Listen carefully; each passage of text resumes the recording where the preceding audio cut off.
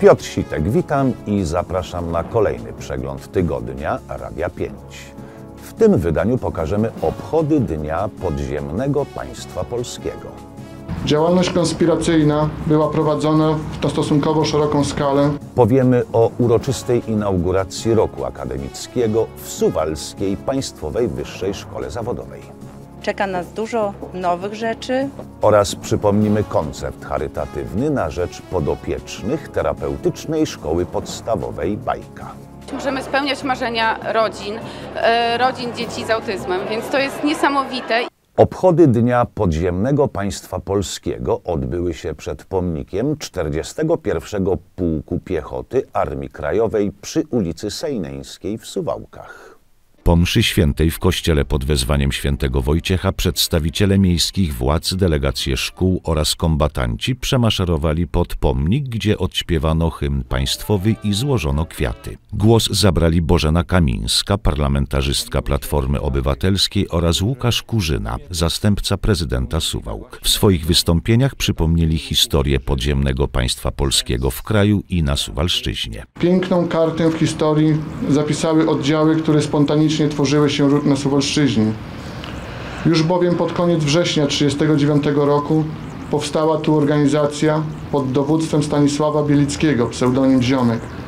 Grupa ta, nazwana tymczasową Radą Ziemi Suwalskiej, w krótkim czasie zaczęła działać w rejonach Suwałk oraz pobliskich osad i wsi. Działalność konspiracyjna była prowadzona na stosunkowo szeroką skalę, gdyż polegała m.in. na tym, że wydawana była gazeta, prowadzony był wywiad wojskowy. W Suwałkach nie ma już 14 Suwalskiego Dywizjonu Artylerii Przeciwpancernej, tylko 14 Pułk Przeciwpancerny. Z tej okazji przed południem w centrum miasta odbyła się okolicznościowa uroczystość. Był uroczysty apel w Parku Konstytucji 3 maja, wojskowa defilada i piknik z pokazem sprzętu. Przypomnijmy, że Mariusz Błaszczak, minister obrony narodowej, zapowiedź przeformowania dywizjonu ogłosił jesienią ubiegłego roku. W połowie lipca przybył do Suwałk, aby podpisać stosowne dokumenty. Teraz ministerialna decyzja wchodzi w życie. Jak mówili dziś podczas okolicznościowych wystąpień Marek Łapiński, wiceminister Ministerstwa Obrony Narodowej i Jarosław Zieliński, poseł i wiceminister MSWiA, rząd naprawia błędy koalicji Platformy Obywatelskiej Polskiego Stronnictwa Ludowego, która 9 lat temu rozformowała Suwalski Pułk i zmniejszyła liczebność wojska w mieście. Powinien być e, co najmniej pół wojska i właśnie on dzisiaj do Suwałk realnie wraca. Przez 9 lat go nie było. Rząd koalicji PO-PSL doprowadził do tego, że rozformowano istniejący wcześniej pułk w 2010 roku. Pozostał niewielki dywizjon i on miał być Suwałk zupełnie zabrany.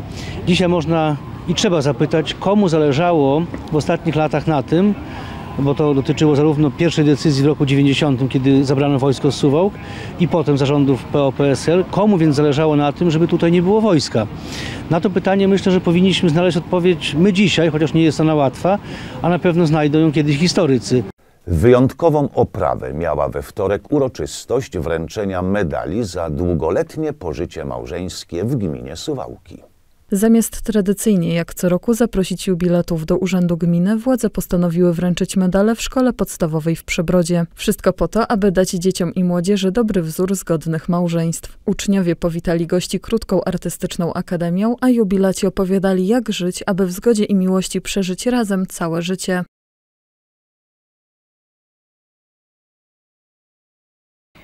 Co im poradzić? Zgody, wyrozumienia, współczucia jeden drugiemu, bo inaczej nie ma drogi żadnej przyszłości, jeżeli będzie nienawiść. Żeby jeden drugiego szanował, jeżeli się pobiorą, no i żeby było zrozumienie. Różnie bywa, trzeba iść na kompromis, wybaczać trzeba. Wzór trzeba dać.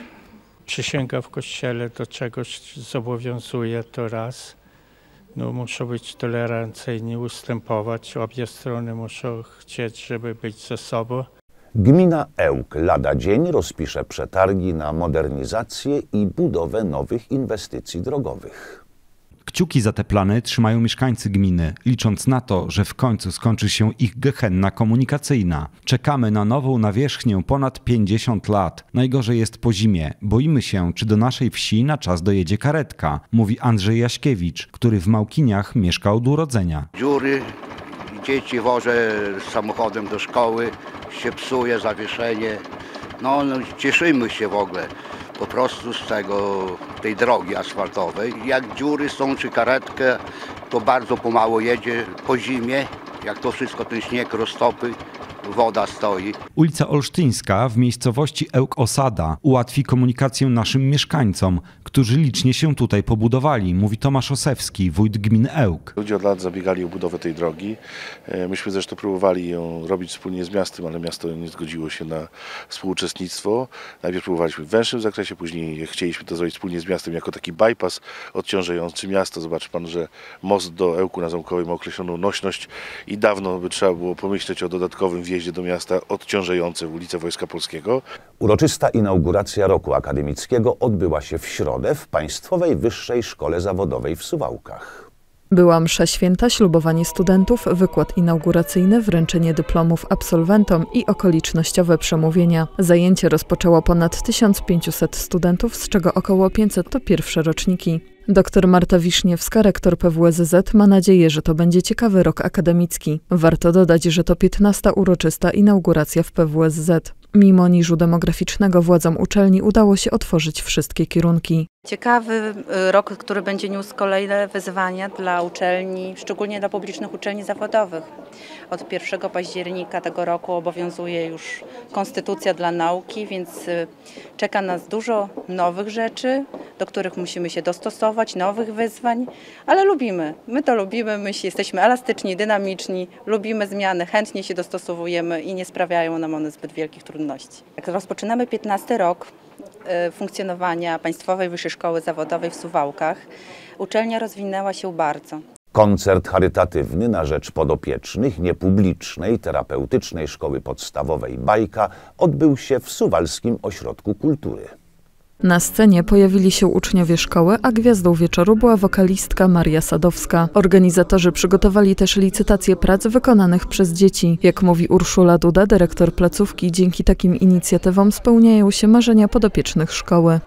My marzymy, a dzięki pomocy takim, e, pomocy firmom i osobom, które wspierają naszą działalność, możemy spełniać marzenia rodzin, e, rodzin dzieci z autyzmem, więc to jest niesamowite i i kilka lat temu nie śmiałam nawet marzyć o tym, że dokonamy remontu, że będziemy mieli nowy budynek, że będziemy w stanie pomóc 70 dzieci, a dzisiaj to marzenie jest, więc uważam, że trzeba mieć marzenia, pomagać w ich spełnianiu i trzeba mieć ludzi, którzy, którzy są przy nas. Debaty, wykłady, spotkania z podróżnikami. Właśnie tak zapowiada się czwarte Forum Biznesowe Pogranicza. Dwudniowe wydarzenie rozpocznie się 24 października w Parku Naukowo-Technologicznym w Suwałkach. W tym roku tematem przewodnim forum będzie turystyka i hotelarstwo. Organizatorzy przewidzieli spotkanie z Aleksandrem Dobą, który samotnie opłynął Atlantyk oraz dziennikarzem Jakubem Poradą, który prowadzi programy podróżnicze. O szczegółach mówi Dariusz Bogdan, prezes parku.